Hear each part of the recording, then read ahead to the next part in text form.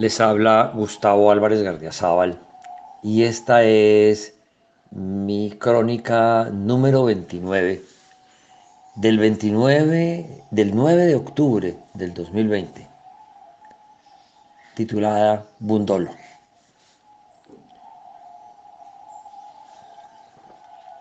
Hace 74 años, cuando nació, pudo haber tenido alguno de los problemas que ahora permiten a pediatras y psiquiatras organizar la educación de los niños especiales.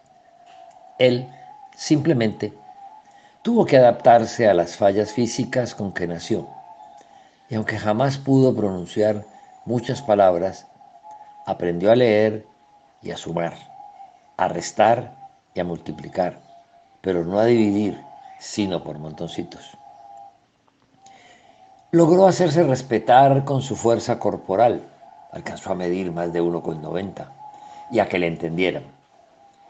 Aprendió a cocinar y nadie le ganaba como bailarín, aunque si su pareja quería lucirse, era mejor que no le hablara. Entendió que aprender iba de la mano de obedecer y a quien le enseñaba le guardaba eterna gratitud. Fanático del Deportivo Cali, y paralelamente después del Cortuluá. Combinaba el verde y el blanco con bermudas a la rodilla, medias a mitad de pierna y de acuerdo al día del partido ondeaba en sus manotas la bandera gigantesca del uno o del otro, encabezando lo que fuera, montado en su bicicleta.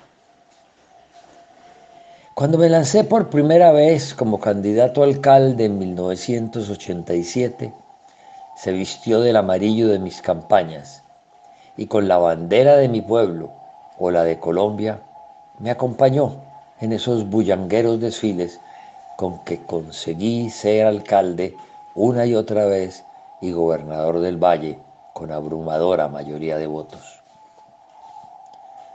Se quedó desde entonces en mi vida y cuando el torbellino de la envidia me mandó a la cárcel y no a la tumba, Bundolo, como siempre se le conoció en Tuluá y como le llamé toda su vida, fue el ujier diario de mi martirio.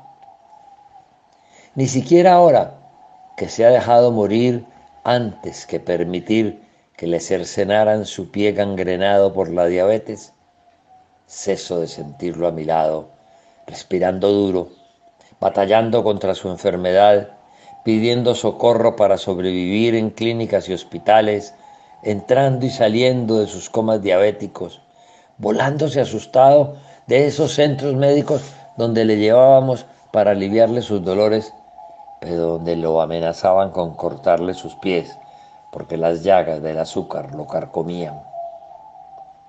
Fiel como el mejor perro guardián, inteligente como nadie, honrado y honesto para poder seguir siendo amigo de los poderosos, a los que nunca preguntó ni el origen de sus fortunas, ni mucho menos de su poder. Discreto hasta para morirse, Fabio Botero Zafra se llevó a la tumba mi afecto y mis secretos, porque no fue en vano por más de 30 años mi guardia pretoriana.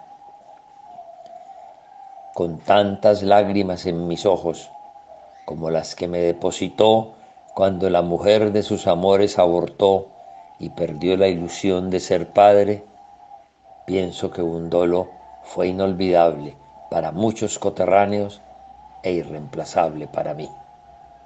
Muchas gracias.